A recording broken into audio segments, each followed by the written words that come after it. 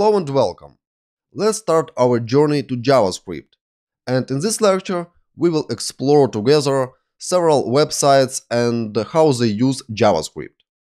You don't need to install JavaScript on your computer. It is already installed there if you are watching my video now.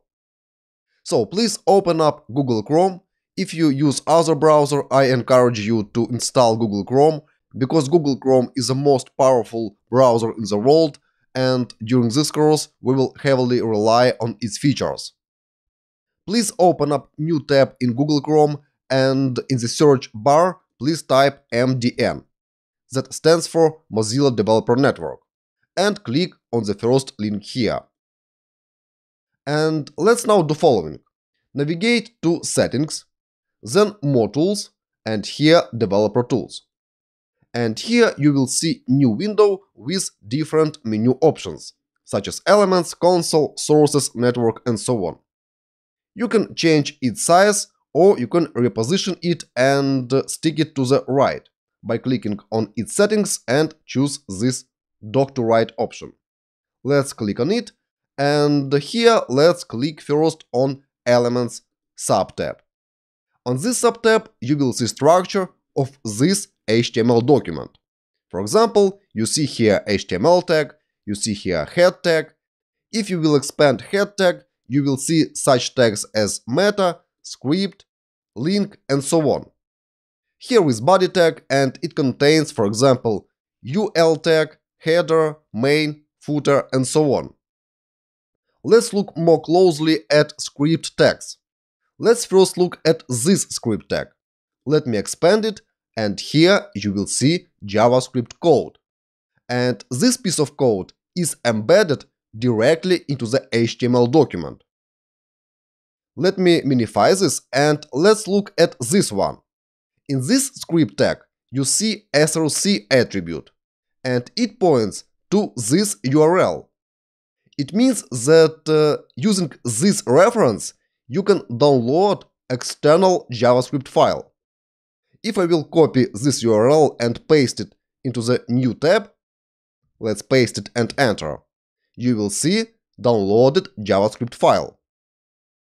Okay, let's go back to this tab and let's navigate to Network subtab. Here you can examine all files that were downloaded for this website. Let's click refresh button. Let's make this larger and examine this table. So, this table contains such fields as name, it is name of the file, then status, it is server response code, and for all those files, status code is 200. It means that all those files are available at the server and were served successfully. Next, you see type of the file, and you can sort by type, for example. Here you see, for example, SVG, style sheet, script, PNG, font, and so on. Here you see size, and you may notice that some files were served from the disk cache. This happens because I have already visited this website before, and those files were cached in the memory. You can disable cache by clicking on this option and then reload web page. Let's do that. And now you see that those files were downloaded once again. Let's filter by file size. Click again, and here you see that largest file is 46 kilobytes, and it is JavaScript file. You can also filter by file type here. For example, if I click CSS, I will see only style sheet files here. Let's click on one of the CSS files, for example this one. And here you are able to see response in plain text. Using those curly braces here at the bottom, you can pretty print this file. Let's click on this icon. And here you will see style sheet that was pretty formatted for good readability. And it contains styles for this website. Okay, let's close this and let's filter by JavaScript files. And here you see four JavaScript files. This one is the largest, and there are also such files as analytics, newsletter, and JavaScript with some weird numbers. Those numbers in JavaScript, newsletter, and main files were automatically generated. And each time when something changes, for example, in the main file, then this number will be renewed. It's made on purpose to make my browser download new file if some changes will be made.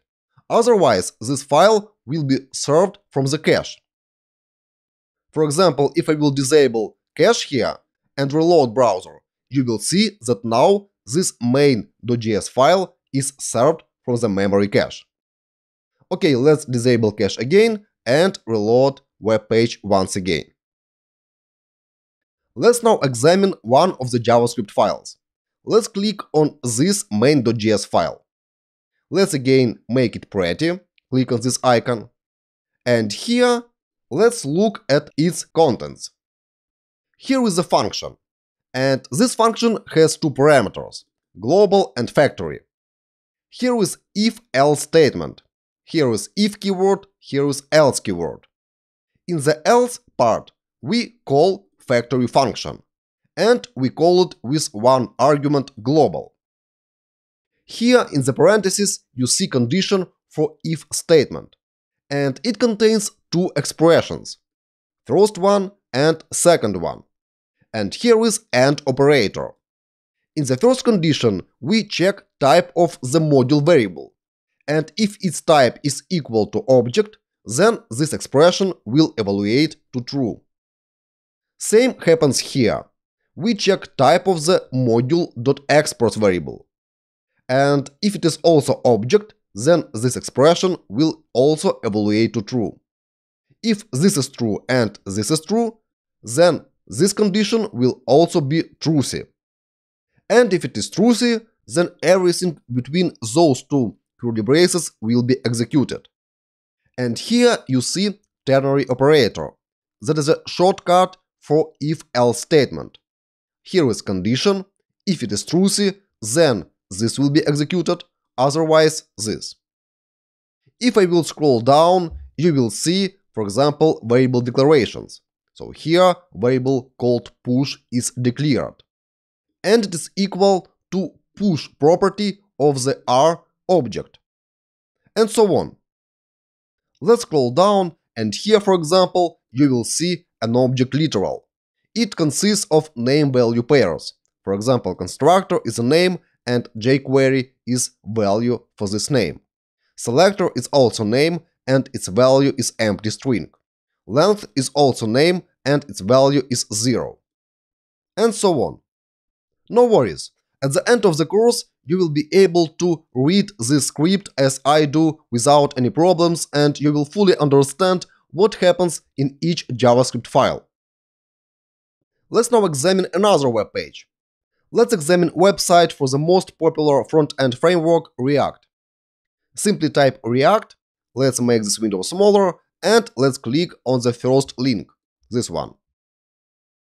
Let's again expand window with developer tools, and here you will see files that were downloaded for this web page. If I will click on the All subtab here, you will see such files as JavaScript, SVG, JSON, PNG, and so on. Let's now filter this files list by HTML documents. Simply click here on the doc filter. And here you see a file called reactjs.org. And its size is 17 kilobytes.